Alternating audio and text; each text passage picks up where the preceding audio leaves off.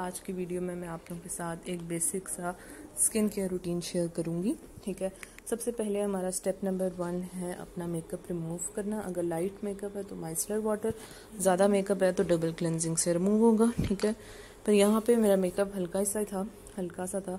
मैं micellar water से remove करूँगी इसको, ठीक डबल क्लेंजिंग में होता है कि पहले आप कोई ऑयल बेस मतलब चीज़ यूज़ करते हैं, आप ऑयल को यूज़ करते हैं जो कि पोर क्लॉगिंग ना हो, ठीक है?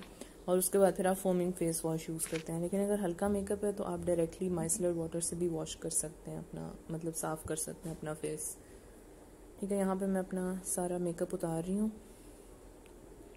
और यहाँ पे मैंने फास्ट फॉरवर्ड किया हुआ है, इतना हार्शली नहीं कर रही वो, लेकिन फास्ट फॉरवर्ड होने की वजह से लग रहा है कि काफ़ी हार्शली कर रही हूँ। ठीक है, यहाँ पे सारा मेकअप आ गया कंसीलर वगैरह ब्लश ऑन सब कुछ उतर जाता है। इसके बाद आपने कोई भी फोमिंग फेस वॉश या फिर कोई स्टिक क्लिनजिंग स्टिक की मैं यूज़ कर रही हूँ सेम टाइप्स की, ये ऑयल बेस है, ठीक है, और अंदर अगर आप इसको थोड़ा सा ज़्यादा पानी के साथ करते हैं तो ये हल्का हल्का सा फोम भी बनाती है। ठीक है, आप ये यूज़ कर सकते हैं या आप कोई सा रेगुलर अपना फेस वॉश यूज़ कर सकते हैं। ठीक है, यहाँ पे मैं आप लोगों को पॉन्ड्स का एलोवेरा फेस वॉश दिखा रही हूँ।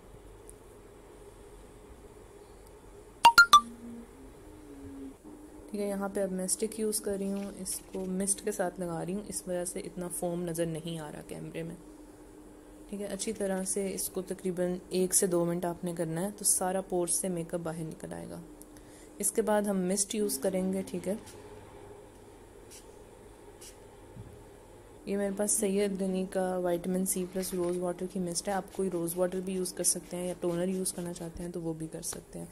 मिस्ट के बाद आपने कोई सा भी सिरम यूज़ कर लेना है, आप हाइड्रोनिक एसिड भी यूज़ कर सकते हैं, या फिर कोई भी रेगुलर अपना सिरम यूज़ कर सकते हैं। गर्मियाँ आए तो आई विल प्रेफर कि आप वाटर बेस्ड सिरम यूज़ करें।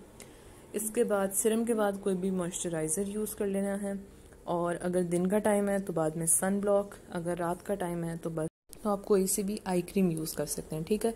तो यही थी हमारी आज की video. I hope you like it